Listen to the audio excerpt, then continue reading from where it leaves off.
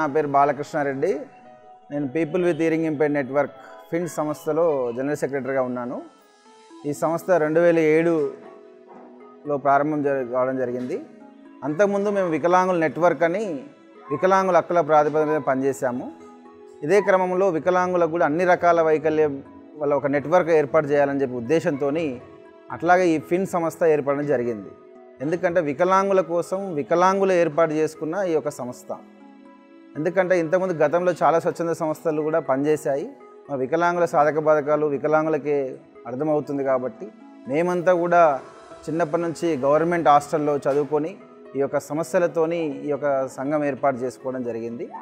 ఇప్పుడు రెండు వేల ఏడు నుంచి ఇప్పటి వరకు ఈ యొక్క పదకొండు సంవత్సరాల జర్నీలో మళ్ళీ ముఖ్యంగా బదురులైన పిల్లలకు ఎందుకంటే గ్రామీణ ప్రాంతాల్లో మారుమూల గ్రా గ్రామీణ ప్రాంతాల్లో చాలామంది నిస్సాయాలుగా ఉండి వాళ్ళ కనీసం ఒక చదువు ఉంటుందని కూడా చాలామందికి టీచర్స్ కూడా తెలియని సమస్యలతో బాధపడుతున్నారు. ఎంతోమంది గ్రామాల్లో నివసించేవాళ్ళు. మరి అలాంటి క్రమంలో మేము గతంలో పనిచేసినప్పటికీ ఈ యొక్క అనుభవంతో ఈ యొక్క సంస్థను ఏర్పాటు చేసుకొని ఆరు మంది పిల్లలతోని ఈ యొక్క పాఠశాలను ఏర్పాటు చేయడం జరిగింది. మరి దానికి ముఖ్యంగా జానకి ఎందుకంటే మేమంతా ఆర్థోపెడిక్ అయినప్పటికీ కూడా తను డెఫ్ డెఫ్ అండ్ డమ్కి ఒక స్కూల్ ఉండాలని చెప్పి మాతో ఎప్పుడు మేము నెట్వర్క్ పనిచేసినప్పుడు తను ఎప్పుడు అడిగేవాళ్ళు. అందరికీ నమస్కారం. నా పేరు జానకి. నేను ఫిల్మ్ స్కూల్ డైరెక్టర్ను మా పాఠశాల దాదాపు ఏడు సంవత్సరాల నుంచి రన్ అవుతుంది. స్టార్టింగ్లో సిక్స్ మెంబర్స్ విద్యార్థులతో స్టార్ట్ అయిన మా పాఠశాల ఇప్పుడు దాదాపుగా నూట పదహారు మంది విద్యార్థులు మా మా పాఠశాలలో విద్యను అభ్యసించుచున్నారు. ముఖ్యంగా ఈ పాఠశాలను ప్రారంభించడానికి కారణం ఏమిటంటే ఇలా ఈ డెఫెండమ్ పిల్లల యొక్క పేరెంట్స్కి ఇలాంటి పాఠశాలలు ఉన్నాయన్న విషయము వారికి తెలియదు. డెఫ్ పిల్లలు అనగానే వాళ్ళు ఎలాంటి ఉద్దేశం ఉంటుంది పబ్లిక్లో అండి వీడు పిచ్చివాడు వీడికి చెవిలిన పొడవు మాటలు రావు వీడు దేనికి పనికిరాడు అన్ అన్న విషయాన్ని అందరూ కూడా పిచ్చివాడన్న ఇదిలోనే ఉంటున్నారు. కానీ ఈ పిల్లవాడు కూడా చక్కగా నార్మల్ పిల్లల్లాగానే అందరిలా చక్కగా చదువుకుంటాడు ఉద్యోగం చేస్తాడు ఏ పనైనా కూడా చక్కగా చేయగలుగుతాడు.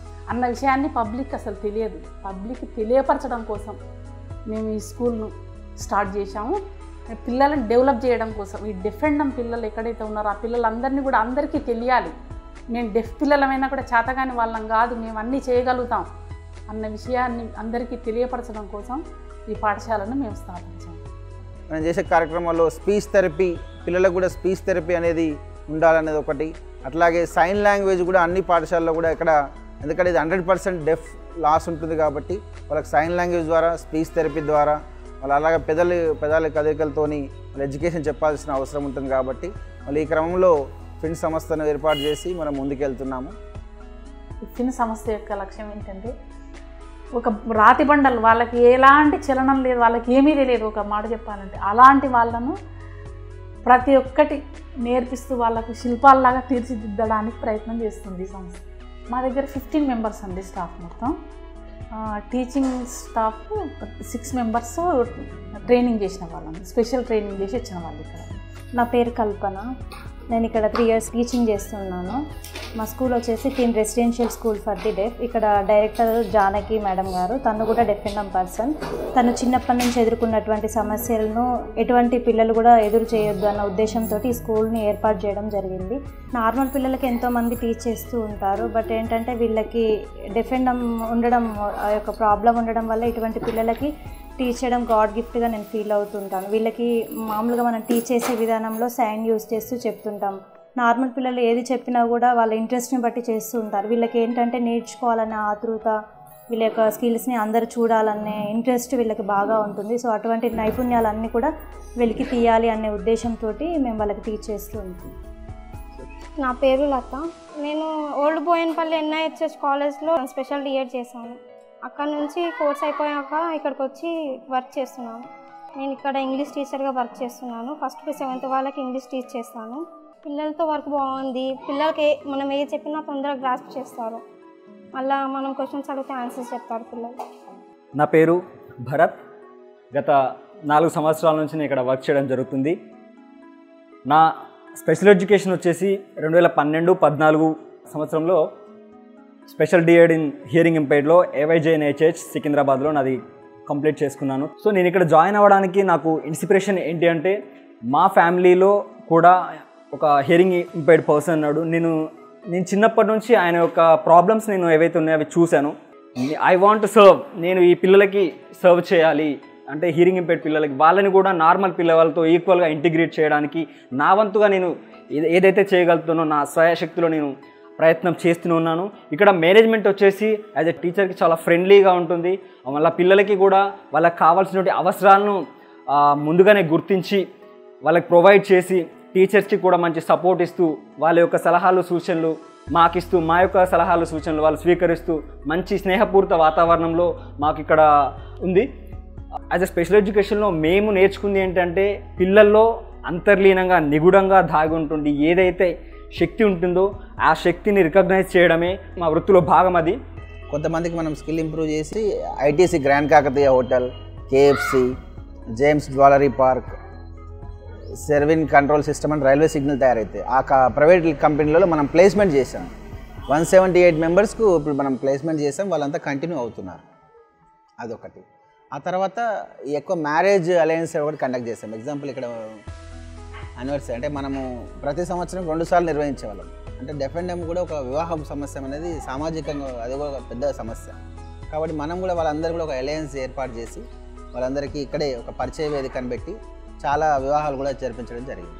మాకు రియల్గా చెప్పాలంటే ఈ చక్క ఈ ఈ ఫిన్ సంస్థ ఇంత చక్కగా రన్ అవ్వడానికి కారణం డోనర్స్ హెల్ప్ సాఫ్ట్వేర్ వాళ్ళు మాకు హెల్ప్ చేస్తున్నారండి. తర్వాత బ్యాంక్ వాళ్ళు మాకు హెల్ప్ చేస్తున్నారు. కొందరు వేరే వాళ్ళు కూడా మాకు వచ్చి మేము మీకు ఎందుకమ్మా అని వాళ్ళ చేతనైనంత వరకు వాళ్ళు కూడా మాకు పిల్లలకు సహాయం చేస్తున్నారు. గవర్నమెంట్ నుంచి మాత్రం మాకు చాలా తక్కువ అండి సహాయం అనేది ఏమీ లేదు. డోనర్స్ ముందుకొచ్చి మాకు ఇంకా సపోర్ట్ చేశారంటే మేము ఇంకా చక్కగా డెవలప్ చేస్తాను ఈ- స్కూల్ను. ఇప్పుడు ఈ పిల్లలు సెటిల్మెంట్ లేకనే పేరెంట్స్ ఎంతో బాధపడుతున్నారండి. ఇలాంటి పిల్లల పరిస్థితి ఏంటో ఒక్కసారి ఆలోచించండి. అందుకోసం ఇలాంటి పిల్లల్ని వీళ్ళకి ఒక దారి చూపించి వీళ్ళ వీళ్ళ లైఫ్ సెటిల్ చేశామంటే వీళ్ళ పేరెంట్స్కు వాళ్ళ యొక్క కన్నిటిని తుడిచిన వాళ్ళం అవుతాం. ఇలాంటి సహాయం మీరు చేస్తే బాగుంటుందని నేను కోరుకుంటున్నామండి. మాకు ఇప్పటివరకు చేసిన గుర్తింపులో కూడా రెండు సార్లు జాతీయ స్థాయి అవార్డు రావడం జరిగింది. మాకు తెలంగాణ గవర్నమెంట్ వచ్చిన తర్వాత మళ్ళీ దీన్ని తెలంగాణ రాష్ట్ర ప్రభుత్వం తరపు నుంచి మాకు అకామిడేషన్ కూడా కల్పించడం జరిగింది. మళ్ళీ అప్పుడు మాకు అరవై మంది పిల్లలు ఉండేది. ఈరోజు నూట పదహారు మంది పిల్లలు ఉన్నారు. ఇంకా కూడా అకామిడేషన్ సరిపోవట్లేదు. మాకు ఎన్ని అవార్డులు వచ్చినప్పటికీ కూడా మాకు ఇంకా ఒక మంచి క్వాలిటీ ఎడ్యుకేషన్లో మాకు ఎందుకంటే మేజర్గా మనం ఎక్కువ డిమాండ్ చేసేదంటే ఎడ్యుకేషన్ సిస్టమ్ అనేది ఇంప్రూవ్మెంట్ కావాల్సిన అవసరం ఉన్నది. కానీ డెఫ్కున్న దౌర్భాగ్యం ఏంటంటే ఈరోజు ప్రభుత్వాలు గుర్తించిన పరిస్థితి లేదు. ఎడ్యుకేషన్ సిస్టమ్ అనేది ఉంటే వాళ్ళు కూడా ఉన్నత స్థాయికి వెళ్ళగలుగుతారు. ఎంతసేపు మొన్నటిదాకా ఇంటర్మీడియట్ అఫీషియల్గా టెన్త్ ఉండేది ఈ పదేళ్ళ నుంచి పది పన్నెండేళ్ళ నుంచి ఇంటర్మీడియట్ వరకు గుర్తించారు. ఇంకా తర్వాత ఇప్పుడు కూడా లేదు. ఇంటర్మీడియట్ వరకే అఫీషియల్ అందులో టెన్త్ క్లాస్లో కూడా లోకల్ లాంగ్వేజ్ లేకపోయినా వాళ్ళు ఫోర్ సబ్జెక్ట్ పాస్ అయితే పాస్ అయినట్లు లెక్కే. అంటే ఏదున్నా ఇంకా దాని మీద రీసెర్చ్ చేసి వీళ్ళకి ఇంకా అవకాశాలు కల్పిస్తే వాళ్ళు కూడా ఉన్నత స్థాయికి ఎదుగుతారని చెప్పి మా యొక్క డిమాండ్. అందుకే మేము ఒక స్కూల్ ఏంటంటే కొంచెం మనం ఉన్న ఎక్స్పర్ట్ టీచర్స్తోని కొంచెం క్వాలిటీ ఎడ్యుకేషన్ తీసుకురావాలని చెప్పి మా యొక్క ప్రయత్నం ఒక మోడల్గా చేయాలనేది మా ఉద్దేశం.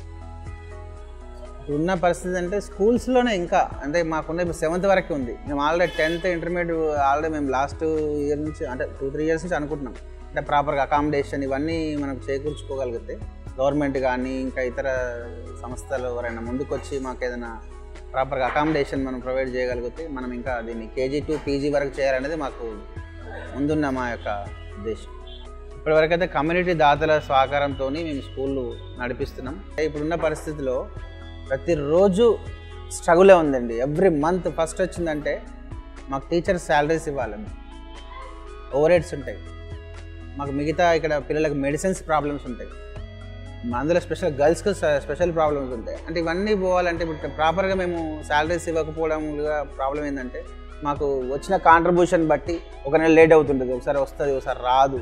ఇట్లా దానివల్ల టీచర్స్ డ్రాప్ అవుట్స్ అవుతుంటుంది దీనివల్ల పిల్లలకు టీచర్స్ గ్యాప్ ఏర్పడి వాళ్ళు డ్రాప్ అవుతారు. ఎందుకంటే టీచర్స్ కూడా సాలరీస్ ఇవ్వకపోవడం వల్ల డ్రాప్ అవుట్స్ అవుతుంటారు. మళ్ళీ కొత్త వారం తీసుకోవడం మళ్ళీ పిల్లలకు అనుసంధానంగా ఉంటే చాలా టైం పడుతుంది. ఈ యొక్క గ్యాప్ ఉంది కాబట్టి మాకు సిఎస్ఆర్ సాఫ్ట్వేర్ కంపెనీస్ కానీ అదర్ కంపెనీస్ నుంచి కానీ మాకు ఏదైనా ముందుకొచ్చి రెగ్యులర్గా మాకు సహకారం చేయగలిగితే మేము ఇంకా ముందుకెళ్ళడానికి అవకాశం ఉంటుంది. మా ప్రభుత్వం కూడా గుర్తించి మాకు సహకారం అందిస్తే మేము ఇంకా ముందుకు వెళ్దామని చెప్పి